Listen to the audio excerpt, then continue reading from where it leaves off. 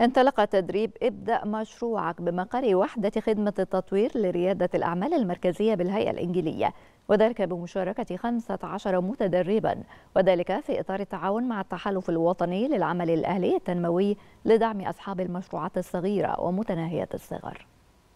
في ضوء اهتمام الدولة بتحقيق التنمية المجتمعية وفي إطار التعاون بين التحالف الوطني للعمل الأهلي التنموي والهيئة القبطية الإنجيلية انطلق تدريب ابدأ مشروعك بمقر وحدة خدمة التطوير لريادة الأعمال المركزية بالهيئة الإنجيلية وذلك بحضور 15 متدربا بهدف مساعدة الراغبين في إقامة مشروعات صغيرة ومتناهية الصغر أو تنمية مشروعاتهم. الهيئة بتهتم كتير جدا بالشباب والعمل مع الشباب خاصة في فيما يخص الجزء الاقتصادي.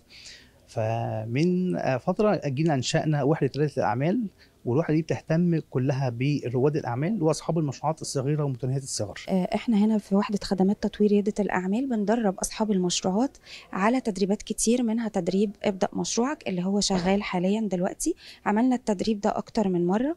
في بيتم تدريب المستفيدين على دراسة الجدوى. إزاي يعملوا دراسة جدوى مظبوطة؟ إزاي يدرسوا السوق دراسة جيدة علشان يقدروا يطوروا من مشروعاتهم ومن منتجاتهم. التدريب يشمل مساعدة المشاركين على تجهيز أفكار لنماذج مشروعات وكيف يمكن تنفيذها على أرض الواقع إلى جانب العمل على تسويق هذه المشروعات ودراسة السوق المحلي ومعرفة المنافسين وذلك بهدف نشر ثقافة ريادة الأعمال والعمل الحر. التدريب فكرته إن إزاي أعمل المشروع بتاعي إزاي أكون بصنفه إزاي أعرف أجيب الخامات بتاعتي أحدد رأس المال إزاي أكون بعمل دراسة جدوى للمشروع. إحنا بنتدرب حاليا ابدأ مشروعك اللي هو بيعلمنا إزاي نعمل دراسة جدوى لمشروعنا إزاي نفرق بين المصروفات والإيرادات إزاي نفهم إن في مصروفات لمشروع ومصروفات لبيت ونقدر نفصل بين الاثنين الصراحه التدريبات دي فرقت معانا كتير.